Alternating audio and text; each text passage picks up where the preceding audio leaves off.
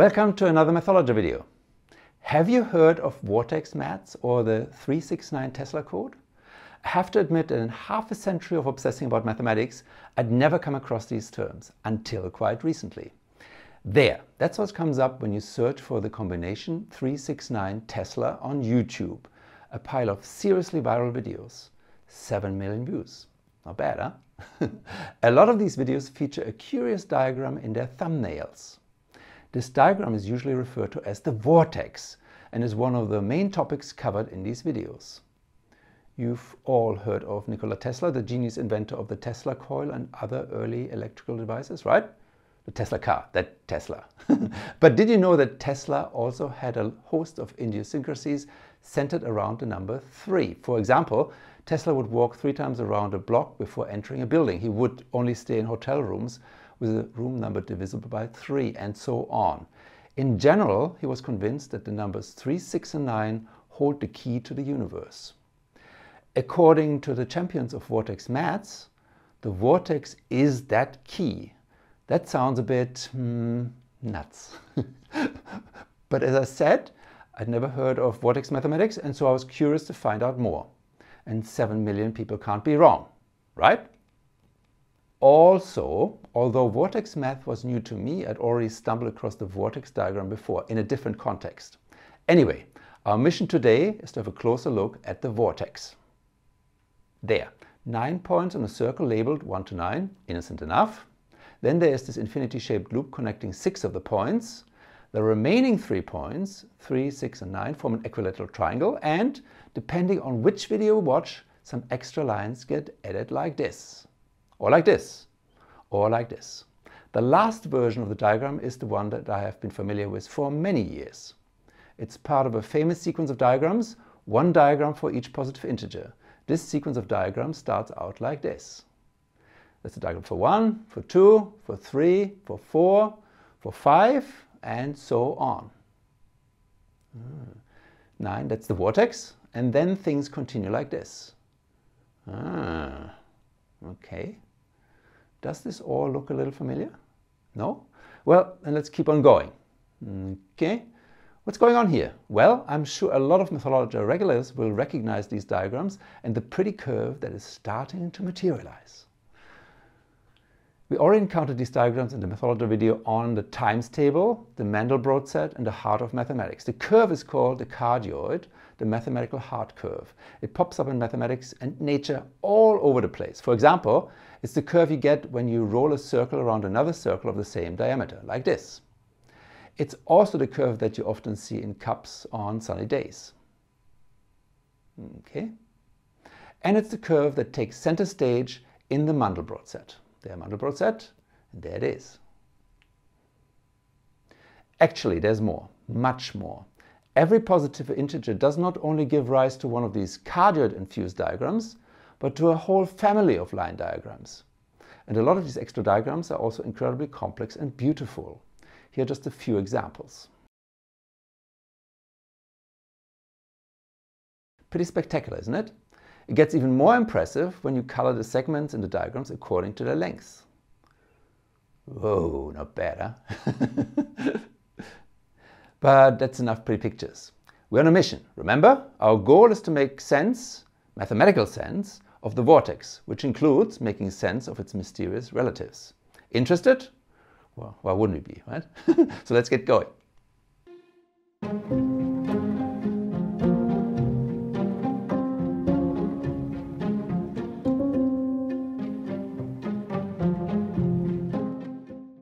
Okay, all the Tesla code videos I mentioned earlier introduce the vortex in essentially the same way.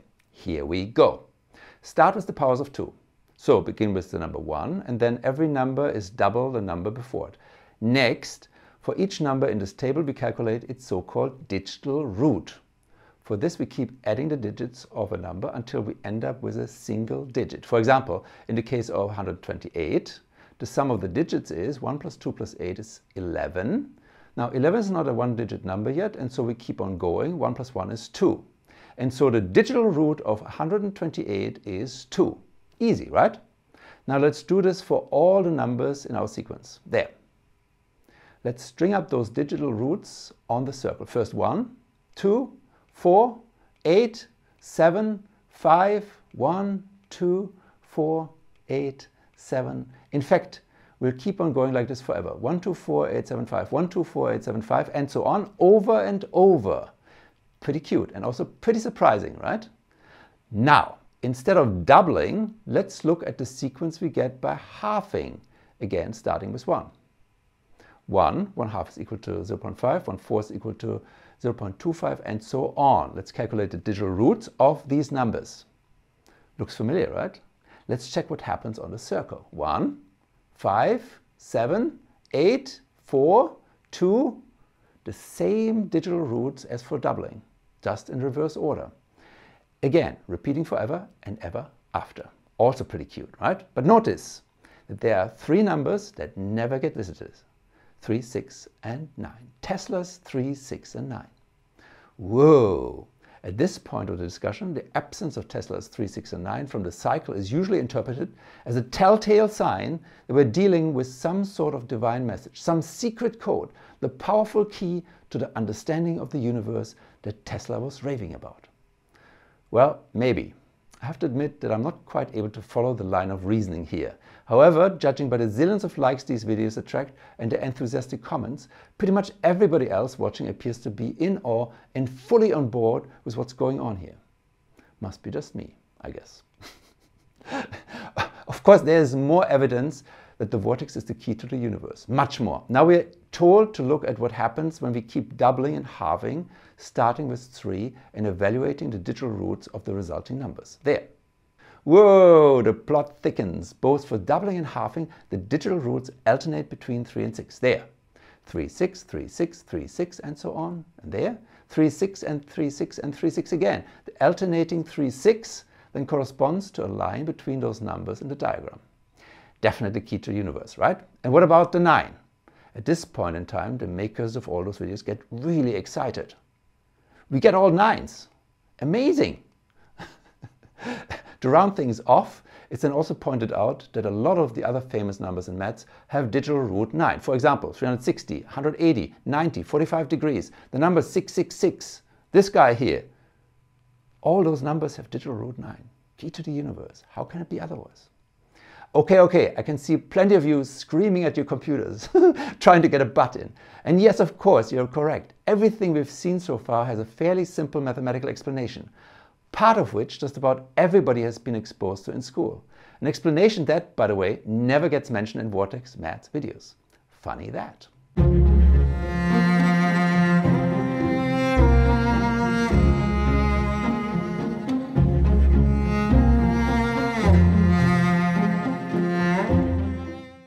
Right, where in school mathematics do you add digits of a number?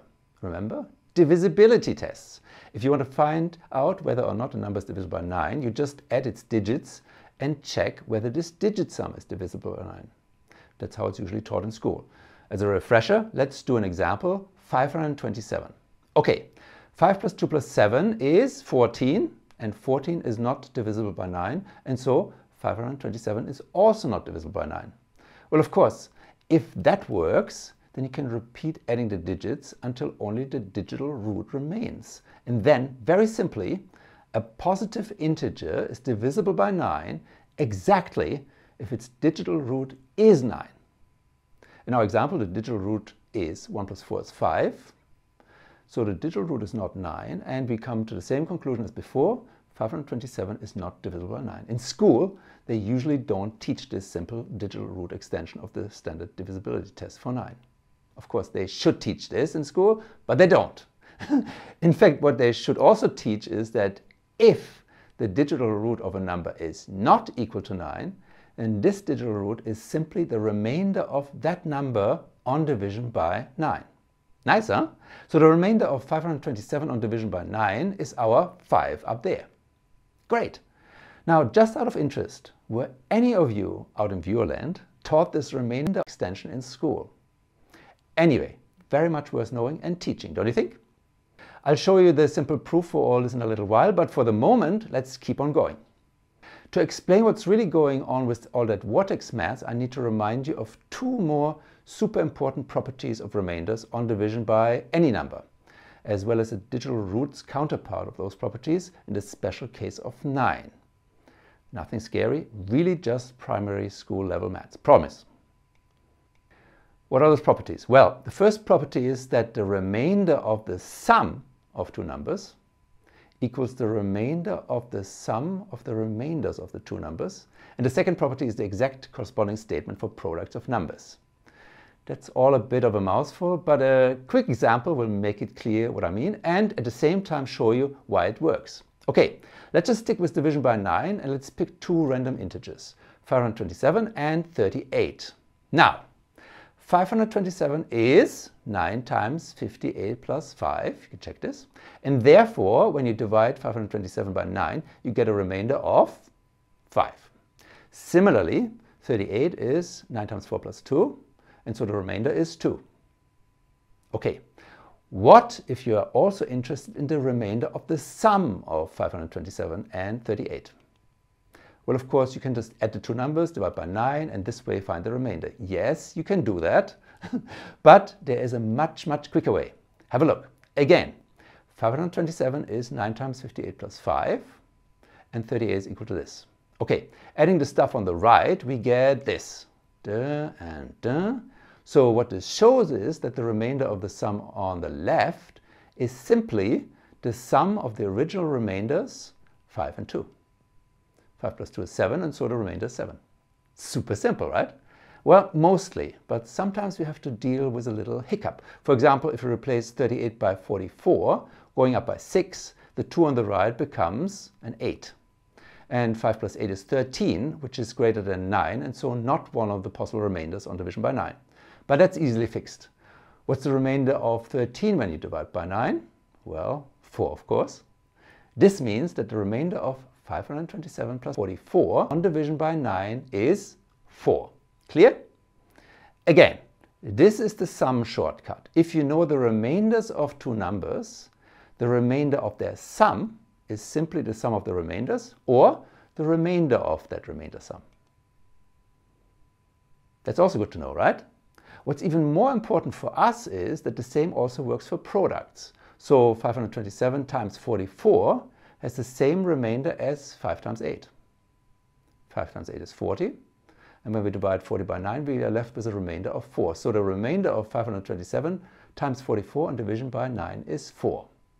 Okay, what about digital roots? Same thing, right? The digital root of the sum or product of two numbers is equal to the digital root of the sum or product of their digital roots. Hmm. Very nifty. Again, to summarize, at the level of remainders, the sum and product property holds for division by any number. Division by 2, 3, 4, 5, 666, division by any number whatsoever. However, in the special case of 9, and 9 only, we have this extra niceness that remainders essentially correspond to the digital roots. All clear? Okay, now let's use these properties to explain what's going on inside the vortex. Remember, we started by looking at the sequence of powers of 2 in other words, we kept multiplying by 2 starting with 1. But now it's clear from our discussion just now that to generate that sequence of digital roots highlighted in green, we can also just keep multiplying by 2 and digital rooting on the right, right? Let's double check this. Okay, starting with 1 on the right, 1 times 2 is 2, 2 times 2 is 4, 2 times 4 is 8, 2 times 8 is 16, and the digital root of 16 is 1 plus 6 is 7. 2 times 7 is 14, and 1 plus 4 is 5. 2 times 5 is 10, and 1 plus 0 is 1, and so on. Works. And so looking at it this way, it's actually not such a big surprise that the numbers on the right will eventually repeat. Why? Well, we are always doing the same thing over and over, right? Multiply by 2, followed by find a digital root. Multiply by 2 followed by find a digital root. And since there are only 9 different possible outcomes of this operation, things are bound to repeat and then loop on forever. And of course the same is true if you start with any number and keep doubling and digital rooting. Eventually things are bound to repeat and from there on we'll loop forever. Starting with 3 we get a very small loop, 3, 6, 3, 6, 3, 6 and so on. And starting with 9, well doubling keeps producing numbers divisible by 9 which all have digital root 9. So just the miniest of mini loops in the case of 9. Okay, that's great. Now what about those halving sequences? They're a bit unusual. And in fact, I'd never seen anybody calculate the digital roots of decimal fractions before watching these Tesla videos. Having said that, with what we know, it's also not hard to explain why we end up with the same sequences of digital roots as before, running in reverse. Right? To get those decimal fractions, we keep dividing by 2 to get 1 half is equal to 0.5, 1 fourth is equal to 0.25, 1 eighth is equal to 0.125, and so on. Now I'm sure that you've all seen these numbers a million times, yes, but did you ever notice the powers of 5 in these numbers? Wait, what? Yes, powers of 5. Just get rid of the decimal point and all the zeros and you get 525, 125 and so on, the powers of 5. Where do those powers of 5 come from? Well, actually, that's also not hard to explain. You see, dividing by 2 is the same as first multiplying by 5 and then dividing by 10. Right? 5 divided by 10, that's 1 half. And of course, dividing by 10 only moves the decimal point. This means Digit-wise, we end up with the powers of 5 and a couple of zeros. Neat, huh? And now the rest I leave as a little challenge for you. Why are the digital roots of the powers of 5 looping the same way as the powers of 2, just in reverse? Leave your answers in the comments. Hint, again the key is that 2 times 5 is equal to 10 and what's the digital root of 10?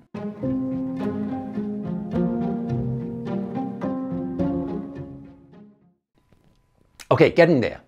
So as far as mathematics is concerned, the vortex is simply a visualization of what happens when we multiply the remainders on division by 9 by the number 2. In technical lingo, what we are doing here is multiplication by 2 modulo 9. Actually, I almost forgot, if we want to think of the vortex in terms of remainders and not digital roots, we should replace the 9 at the top by 0. Remember that little difference, right? And what about the other diagrams that I showed you earlier? Well, those are visualizations of multiplication by two modulo other numbers. Here's a diagram for 5 again, right? Just a quick check. There, 4 times 2 equals 8, and when you divide 8 by 5, you get a remainder of 3. Taking that 3, timesing it by 2 gives 6, and when we divide 6 by 5, we get a remainder of 1, and so on. Works. And then, as I already showed you before, as we raise the modulus, the number by which we divide, the first real magic occurs with the cardioid materializing out of nowhere. There. Ah, very nice. But all this is really just multiplication by 2. The other diagrams I showed you, you get when you multiply by other numbers. So for example, have a look at this crazy diagram here. This is multiplication by 240 modulo 7417. Who would have thought? now multiplication modulo different numbers is super important mathematics with myriads of applications within and outside of mathematics. Finite fields, cryptographic algorithms, number theory in general, and so on. In an app for drawing these diagrams, we then have two basic controls, one for setting the number we multiply with and one for setting the modulus. In fact, let's have another coding competition. Whoever among you submits an online app that implements drawing these diagrams enters into a draw for Marty's and my new book. That one there. Anyway, for the vortex we have multiplier 2 and modulus 9. Then changing the modulus to 50 we get this. And if we now change the multiplier to 3 we get this. Actually, on closer inspection, there's at least one more aspect of these diagrams which we could also change. Can you guess what I've got in mind here? It's a tricky one and easily overlooked. Let me give you a hint. It's got to do with the 9 occupying a special role in our discussion so far, right? Only for a modulus of 9 can we use the digital root algorithm to construct these diagrams. This does not work for any other diagram. So what exactly is it that makes 9 special in this respect? Well, Vortex mathematicians will probably tell you that 9 is special, it's just part of Tesla's 369 being the key to the universe. Of course, 9 has to be special, right? actually. On closer inspection, it turns out that in the first instance, 9 is special because we're writing numbers in base 10. Wait, what? Yes, the divisibility test for 9 and all the other digital root magic is a direct consequence of us writing numbers in base 10. Interesting, huh? You want proof? No problem.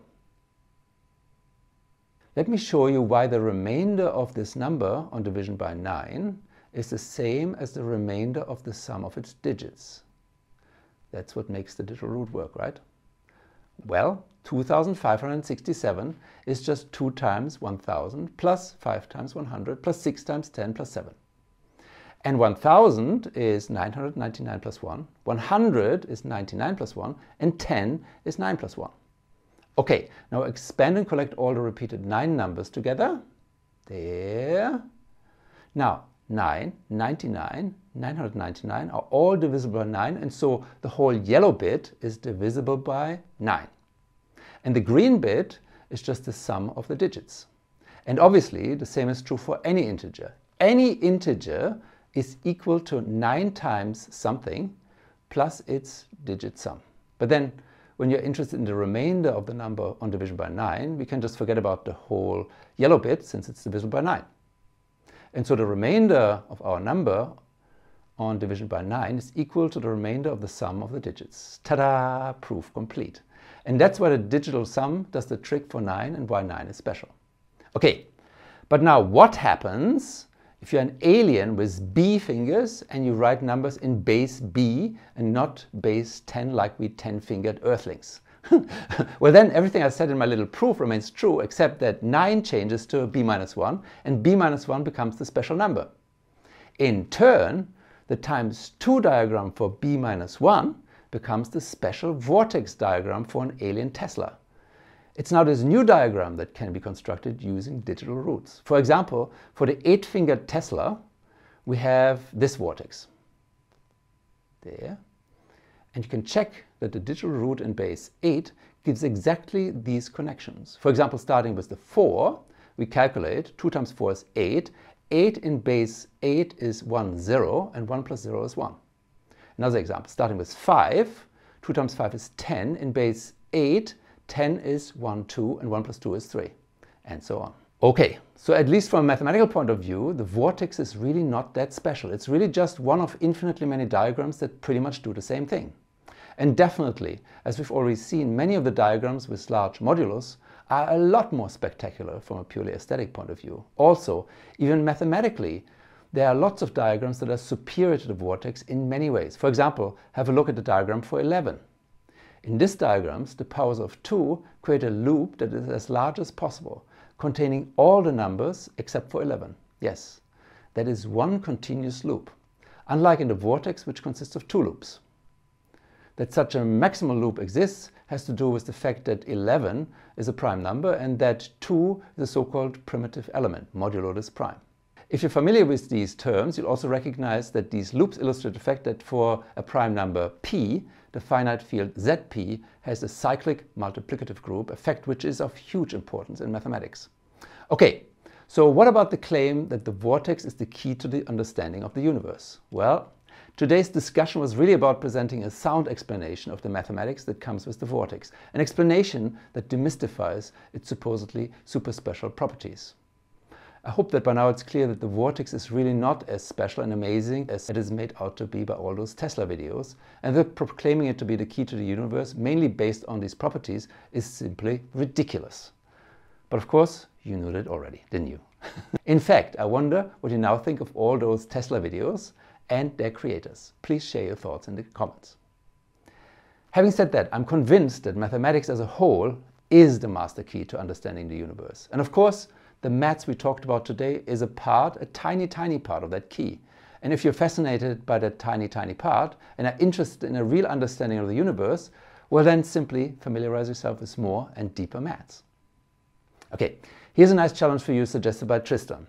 Take one of these diagrams, let's just stick with the vortex, multiply the modulus by some integer. Say let's multiply the vortex modulus 9 by 3, that gives 27. Draw the new diagram.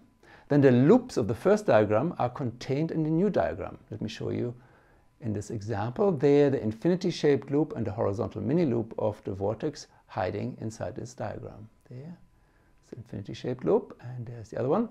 Wow, super vortex, super key to the universe. Anyway, can you explain why our diagrams have this mysterious modulus multiplication property.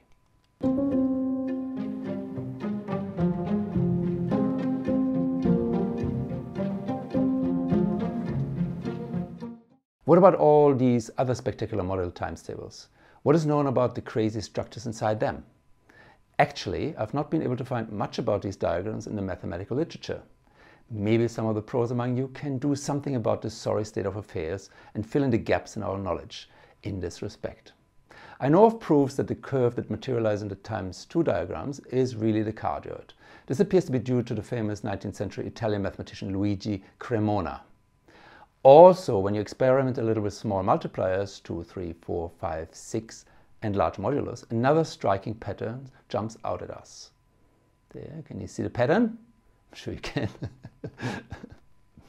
why do these petals appear and why is it always one fewer petals than the multiplier? Well, the details are messy, but it's possible to gain some intuition for the one fewer than the multiplier bit. Have a look at this animation. This is just the base case where we multiply by 2 that produces the cardioid. What I'm doing here is raising the modulus while at the same time tracing the powers of 2 that fit in the circle.